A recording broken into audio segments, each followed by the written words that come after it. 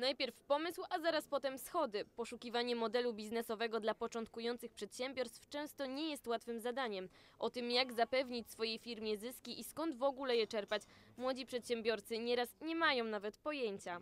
Będąc już wcześniej na kilku tego, tego rodzaju spotkaniach, zawsze dowiadywałem się czegoś, czego wcześniej nie widziałem. Em, Poznawałem jakąś perspektywę, która pat- patrzenia na, na początki rozwoju swojego biznesu z, z różnych stron. To pozwala za każdym razem jak dołożyć jakąś kolejną cegiełkę do całego obrazka, żeby sobie z tym jak najlepiej poradzić na początku. A tych cegiełek jest sporo, bo to i umiejętność zrobienia dobrego wrażenia na inwestorach, ale też kontakty. Młody przedsiębiorca musi wiedzieć, do kogo się zgłosić, by pozyskać kapitał na rozwój swojego biznesu. Jesteśmy firmą z parku technologicznego. Zajmujemy się technologiami, konkretnie internetem rzeczy. No, Dziś najważniejsza jest sprzedaż, nie wystarczy wymyśleć. Wspieraniem przedsiębiorstw we wczesnej fazie zajmują się tak zwane sieci aniołów biznesu.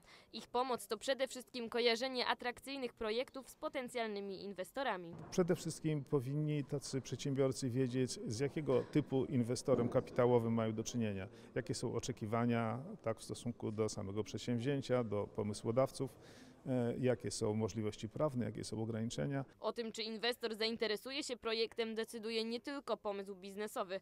Ważne, aby mieć za sobą też pierwszą sprzedaż. To nie tyle weryfikacja na rynku, ile mniejsze ryzyko dla inwestora. Inwestor nie wejdzie w przedsięwzięcie, jeśli to jest tylko goły pomysł i ewentualnie tylko jedna osoba, co za tym pomysłem jest. Szkolenia realizowane są w ramach unijnego projektu Enterprise Europe Network wspierającego małe i średnie przedsiębiorstwa.